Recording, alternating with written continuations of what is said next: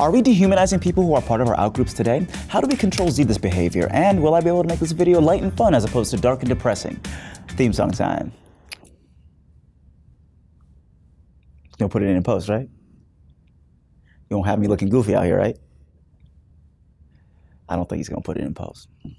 We are the most evolved life forms on Earth, but we still cling on to our evolutionary history. Humans are tribal creatures. We roll with cliques who are like us. We consider people who aren't within our tribes as an other. Those tribal lines through our evolutionary history have transformed from hominids being like, yo, whose caveman's is this? When you out here cave wilding to newer lines like race, religion, politics, Hogwarts houses, etc. Think about sports fans. They root for their team no matter what. That's their team. And people who root for that team are their in group. Anyone who's not a fan of that team is their out group. And we all contain multiple in groups and in turn multiple out groups. Hashtag intersectionality. This is natural. Implicit association tests, or IATs, show that more often than not, people align closely with their in groups over their out groups. We tend to view our in-groups more favorably, talking about why our music bangs more, why our potato salad's better. It just is. We cooperate better with members of our in-group and often root for them no matter what.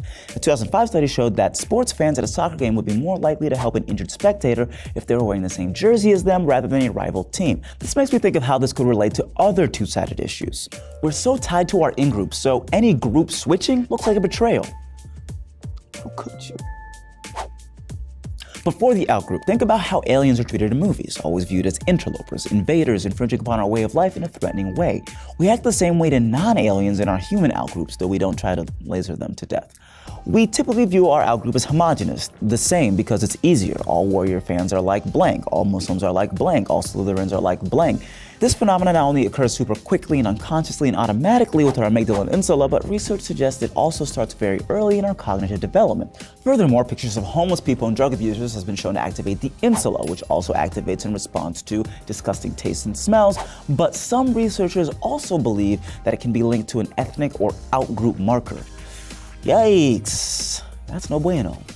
Humans tend to dehumanize anyone who doesn't adhere to what their idea of normalcy is, calling people animals, demons, super predators, devils, etc. is a way to denote that someone else is awful to the point of being non-human. And this is more pervasive and seen more often than we'd like to admit. A psychologist named Dr. Nour Kteily found a way to quantify dehumanization by showing mostly Caucasian American subjects a photo of the ascent of man, being this one right here, and asked them to rate different ethnic groups on how evolved they are.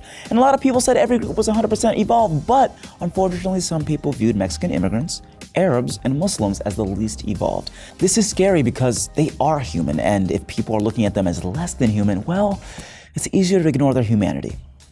With another politically divisive era upon us, where lines are drawn in the sand and debasing and damaging rhetoric will be tossed left and right, how do we break this trend of dehumanization?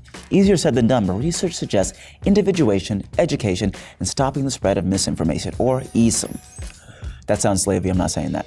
Looking at our outgroups as monolithic, generalized, disgusting people is not the move, and it can be reversed. Studies suggest that looking at our outgroup members as individuals allows them to be seen as solo people and not just part of an other group, helping break that cycle. Not blaming a whole group for single incidents and using blanket statements like the blacks, the Muslims, or the immigrants helps reinstate humanity in those people. Taking the step to learn about other cultures, religions, and races isn't hard. Find and celebrate difference while sharing common ground. And finally, stop the spread of misinformation. No more fake news. I, Dr. Kteily found evidence that his white subjects wouldn't dehumanize Arabs and Muslims as much if they read an article about how Muslims actually admired American values.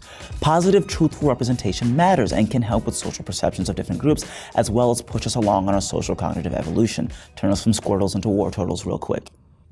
Blastoise. Let's lighten this bad boy up. If you learned something today and you want to learn something else, check out this video about Schadenfreude, a hard word to say that I had to say a lot of times. And while you're here, make sure you subscribe. Thank you so much for watching. Subscribe. I'm coming for you. I can't. I'm weak. I got bird bones.